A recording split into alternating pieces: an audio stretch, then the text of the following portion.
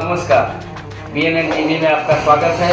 मैं हूँ बी के मिश्रा और आप देख रहे हैं भदोही ज़िले की प्रमुख खबर।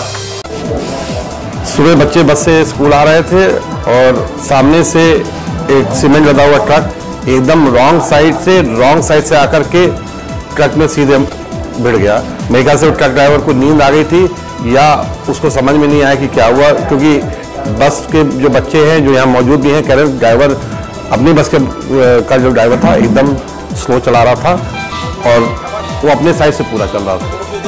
उसमें कितने बच्चे घायल हुए हैं और क्या स्थिति पाँच बच्चे घायल हुए हैं जिसमें से एक बच्चे को नाक के ऊपर कट आया है।